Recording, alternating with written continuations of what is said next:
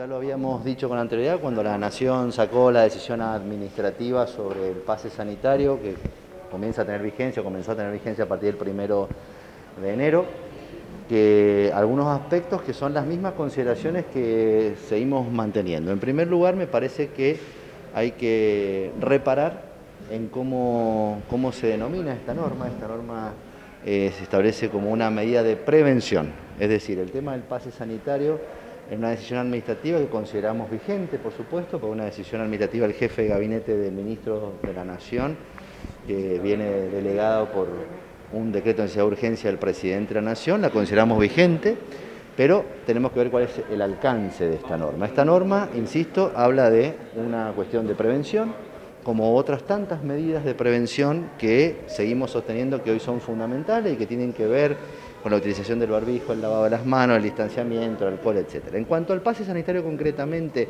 eh, y la vigencia del mismo, la norma, si bien no tiene una claridad en, dos aspectos, cuáles son, eh, cuál es la forma de control, y por, y por, otra parte no contiene ninguna sanción frente a cierto incumplimiento, simplemente que eh, coloca este control en manos de distintos, de distintos sujetos, digamos, ¿no? Por un lado, los privados o particulares titulares de los, de los lugares donde se pueden realizar actividades de tipo masiva, como pueden ser, por ejemplo, el ejemplo clásico son los boliches, ¿sí? o este, donde hay fiestas, etcétera.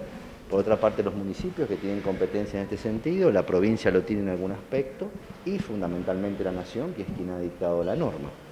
Eh, las Evidentemente el control de esto significa que quien no tenga el esquema de vacunación completo y pretenda realizar estas actividades no podrá, digamos, ingresar o asistir.